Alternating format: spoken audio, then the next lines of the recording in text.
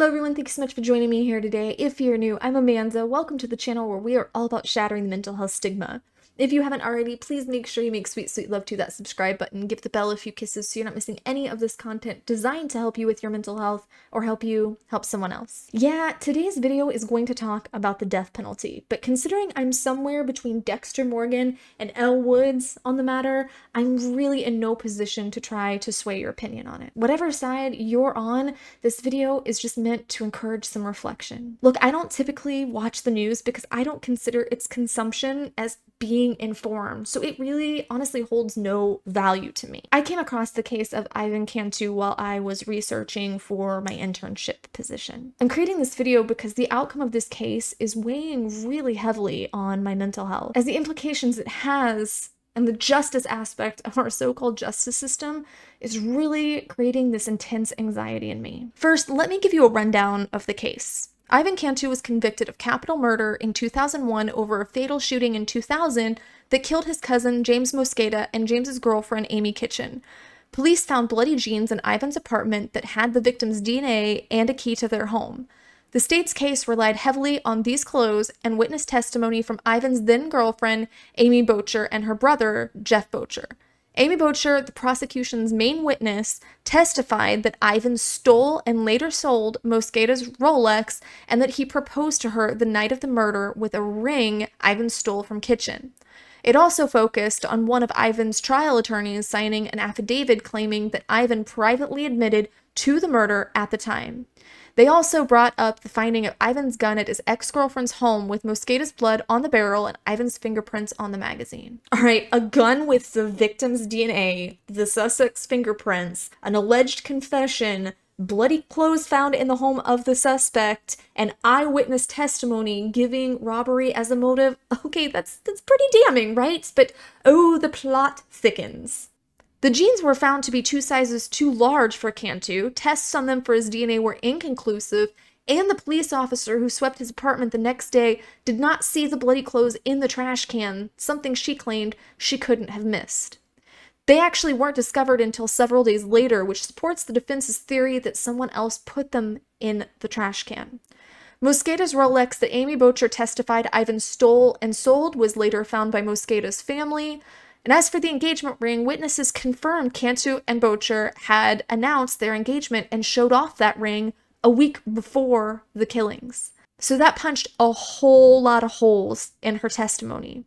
After she passed away in 2021, her brother Jeff admitted in court documents that he lied when he testified that Cantu told him about the murders in advance and asked him to help clean up the crime scene. He also stated that his testimony wasn't credible in the first place as he had a documented history of drug abuse at the time of testifying. That leaves us with the gun, which is certainly suspicious, but that's more circumstantial evidence than direct, as the connection between Ivan the gun and the crime scene is open for interpretation and inference. It implies a fact, but it doesn't directly prove it. There are plenty of explanations as to why his fingerprint could have been on the magazine that have absolutely nothing to do with murder, especially since fingerprints don't erode as quickly as other evidence might. The fact that the gun was found at the ex's residence adds a layer of complexity because that now requires inference as to why it got there. As the evidence that was presented unraveled, several jurors, including the jury foreman,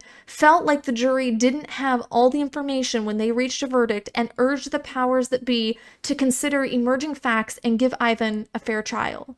Even celebrities such as Kim Kardashian, Martin Sheen, and Jane Fonda, think of them what you will, use their platforms to encourage Texas representatives and the public not to release Ivan, not to paint him as a saint or plead his innocence, but simply to postpone his execution so that he could be given a fair trial. You know, something we are supposed to be guaranteed by the Sixth Amendment of the Constitution. Ivan maintained his innocence until his dying breath. I want you to know that I never killed James and Amy he said, according to a transcript provided by the Texas Department of Criminal Justice. And if I did, if I knew who did, you would have been the first to know any information. He went on to state that he didn't think his death would bring any closure, but if it did, so be it. He gave thanks to his attorneys, family, and supporters and recited Matthew 6:21 from the Bible, "For where your treasure is, there your heart will be also," before stating that he was ready to receive the lethal injection. This man, despite key witnesses confessing to lying, inconclusive DNA evidence tying him to the scene of the crime, and police testimony suggesting someone tampering with evidence, was executed on February 28, 2024. In watching a jailhouse interview with him about a week before his death, I believe his claims of innocence. He was well spoken and well adjusted, not emotionless, unstable, or cocky like a lot of the killers that I've seen interviews with. He talked of the pain of being several feet from his mom during trials and not being able to hug her, and mentioned how much he was looking forward just to hugging her again when he got out. He wasn't asking people to allow him that experience. It seemed that he genuinely believed that justice would prevail and that he would be free again. Look, I don't give two humps less than a camel what anyone thinks of the death penalty or really even as Ivan as an individual. To say that there was reasonable doubt in this case is an understatement. When the facts that had been presented at the trial that had swayed jury members were proven to be false, Ivan Cantu deserved to have his case re examined, period, end of story. But how does all of this tie into mental health? You know, the purpose of this channel, you might be asking. Well, if Ivan Cantu was in fact innocent, think about the fear and anxiety and distress that he must have felt being confined to a violent environment with no autonomy, stripped of any dignity or comfort, and facing imminent execution for years, decades, in fact. There's also Ivan's family, who are likely riddled with crippling grief and confusion and guilt and anger that might never be resolved. There's the victims' families that might be feeling guilt as Ivan's death didn't bring the closure that they were hoping for, and now they're left questioning whether they let an innocent man die. There's those involved in the legal process, like the judge and the prosecution, who might face ethical and moral distress as they question whether they let an innocent man be convicted and executed on their watch. There's Ivan's advocates who saw the human side of him only to find frustration and disappointment and feelings of failure on the other side when they lost this battle for justice. Then there's the mental implications for society at large. That's me. That's you. This might have happened in Texas, but this isn't confined to a particular state or a particular politician. Let me ask you this. With what you've heard in this video how are you feeling right now about the justice system as a whole? Because this case was not only enough to make me lose faith in that system, much like Christopher Reeve's death played a big part in me losing my religious faith. Let me know, by the way, if you want a video on that sometime in the future. But this case has left me genuinely terrified.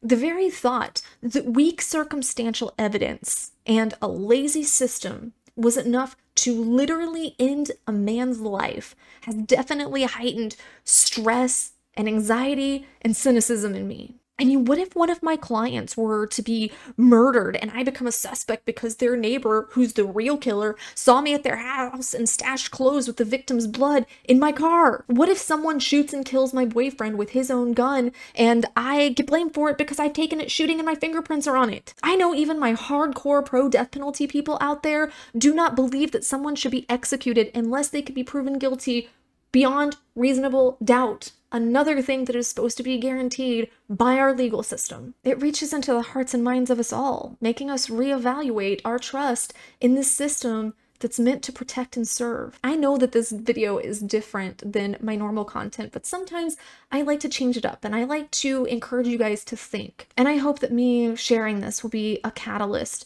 for ongoing respectful conversation. Let me know in the comments how you think this case should have been handled. Do you think that changes need to be made to the legal system? If you're new to the world of justice reform, or even if you are not, I'm going to link some resources in the description below just to give you some more and allow you to be fully informed. As always, I encourage people to share their mental health stories, good, bad, and crazy, here in the comments.